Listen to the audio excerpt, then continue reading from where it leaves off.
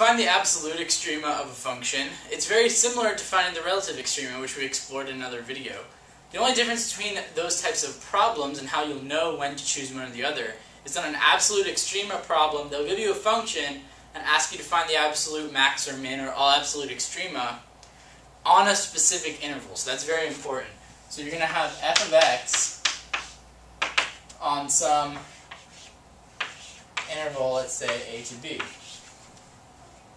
So that changes the problem slightly. So here's a, a graphical example. So say we had a function like this, some sort of cubic function, and we were asked for local mins and maxes. Well, from the graph you can tell you have a local max here, and you have a local min here. But say I were to cut the function off at that dotted line and at that dotted line. Now I'm ending here and here. You can see that this local max is not the absolute max because it's not the highest point on the function. Now that I've cut the function, I have a highest point right here. And I also have a new lowest point right here.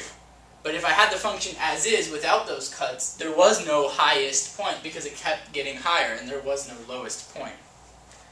So, the local maxes and local mins could be absolute maxes and mins, but they don't necessarily have to be in this example. So when we're trying to find the absolute extrema, we not only want to find the local extrema, but we want to check the endpoints of our a to b interval. So the process at first is the same as finding the relative extrema. You want to take the derivative, set it equals to 0, or undefined. Remember, it must be on the domain. Now, remember, we're only on a to b, so the only x's we're concerned about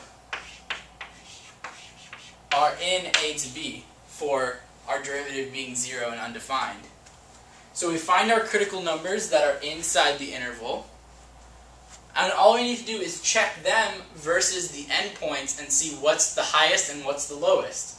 So for this, when you're doing the absolute extrema, you don't have to do a number line. You can just try the points themselves. So we got to try the, the left endpoint, which we called A. So we do f of A, we see what that is.